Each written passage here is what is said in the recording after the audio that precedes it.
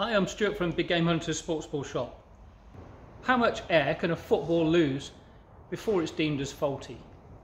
Now we've done a test this week on the Mitre Ultimatch Max. It's a FIFA quality approved football and this would have had to go through stringent tests. Now one of those tests has to pass is to be inflated to the correct PSI. It's then left for 72 hours and during that time, uh, or after that period of 72 hours, uh, the tester would then go back and measure the PSI. So we've done the same experiment, and the temperature here is a little bit cooler than it should be as we're shooting the video on the uh, last day of February.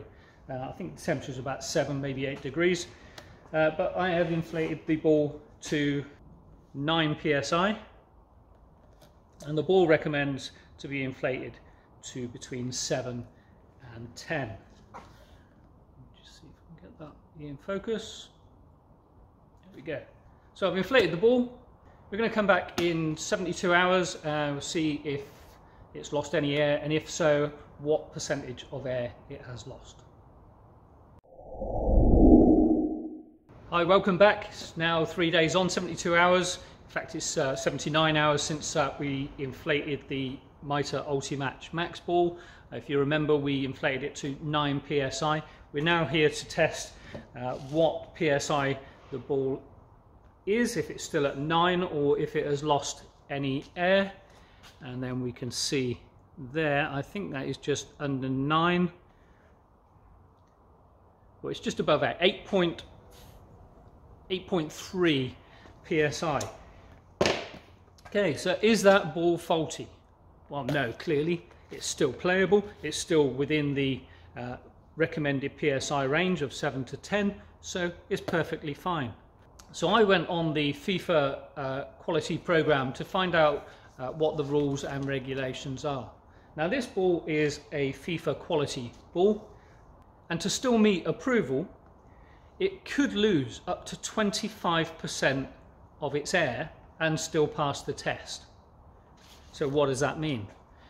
Well, if I inflated that to 10 psi, if it lost 25%, if it was still reading 7.5 psi, then the ball's fine. It would be approved.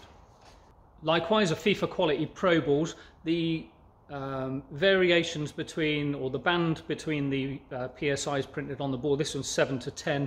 Uh, I'm pretty sure that the uh, bands on the FIFA Quality Pro balls are 8 to 9, so it's a little bit tighter. But if we inflated that to 9 psi, uh, it can lose up to 20%. If it was reading 7.2, it would still pass the test. The IMS balls, International Match Standard, they're able to lose 25% also, and so a ball that you inflate to 10, if it dropped to 7.5 psi in the three days, is still approved. So the IMS International Match Standard and the FIFA quality balls can lose up to 25% of their PSI over a 72 hour period and they would still pass the FIFA quality program. So therefore the ball isn't faulty.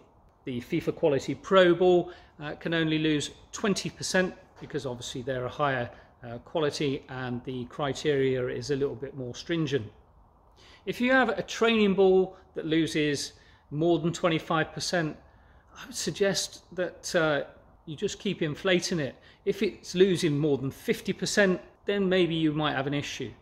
Now, one way you can check if you've got an issue, is possibly a little blockage in the valve, uh, in the little valve hole. Um, occasionally when you're using it out on the pitch and a bit of mud maybe gets into the valve hole, you can clear this with a little drop of glycerin, put it into the mouth of the valve.